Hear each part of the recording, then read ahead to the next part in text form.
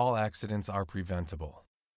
The industry standards that we use are American National Standards Institute, or ANSI, American Standards Testing Materials, ASTM, Occupational Safety and Health Administration, OSHA, and Underwriters Laboratory, UL.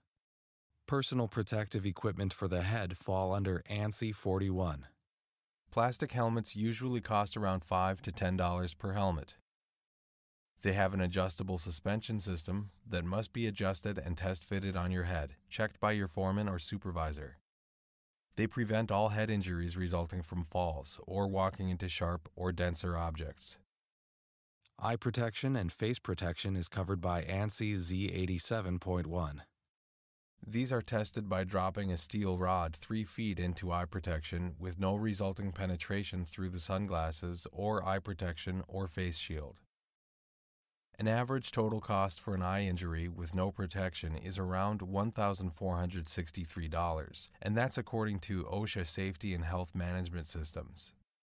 And you can look this up on eTool at Cost of Accidents, www.osha.gov. An average total time lost from recovery from an eye injury can be from one week to six months, depending on the severity of the injury a scratched cornea, which would be about a week or longer, all the way up to, but not including an eyeball penetration. The cost of the ANSI Standards Z87.1 approved plastic eye protection eyewear is anywhere from $4 to $30. A face shield average cost is $30 to $100. Eye protection is the first of most important PPE safety gear and should be worn at all times when any tool is used. The other standard for eye protection for electrical workers resulting from an electrical arc blast would be ANSI Z87.2. These are hoods or face shields that cost on average of $300 up to $1,000. They protect your eyes from the UV light resulting from the electrical arc created from a dead short from an ungrounded to a grounded hot to a neutral short circuit.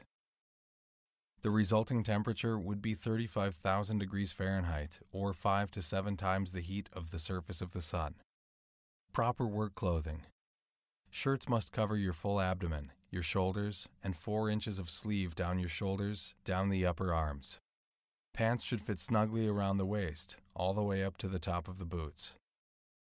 High visibility clothing should be either a bright yellow or orange, for night work, they should have a reflective stripe pattern that is easily recognized during night driving and rainy conditions. The average cost of ANSI approved high visibility shirt or vest is $10 to $50. The reflective stripes increase the cost. Gloves should have either yellow or orange brightly colored pattern and reflective stripes, again for night work. There are cotton gloves for light work, leather gloves for heavy or rough work, and Kevlar gloves to prevent accidental scratches and cuts from metal or other sharp objects. Steel toed boots. The cost of an ANSI Z41.1 approved steel toe boots range anywhere from 25 to $200. These are a thick leather boot with shoelace straps in the front, a steel toe cap to prevent the toes from being crushed or cut from a heavy or sharp object falling on the front of the foot, and a thick rubber or steel shank or undercovering under the feet to prevent nails or other sharp objects from entering the boot and injuring the bottom of the foot. Knee pads should be securely fastened with one or two straps around the back of the knee and protect the entire kneecap. The cost of ANSI approved knee pads is $25 to $80. Breathing mask or filter selection this is going to be used to prevent dust from entering the lungs or chemicals or bacteria such as mold or toxins, spores, or viruses. The proper filter must be selected and correctly installed on the breathing mask. Check for fit. The best way to check for fit is to adjust the straps on the head till they're tight. Place the palms of the hands over the mask and breathe in. The mask should suck into the face, and you should hear no air or any noises of air leaking around the seal around your face. Proper use.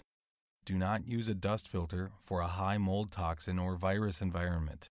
You have to use the right filter for the right environment. Cleaning must be done using betadine or a similar cleaning agent, and all surfaces must be wiped clean and dried.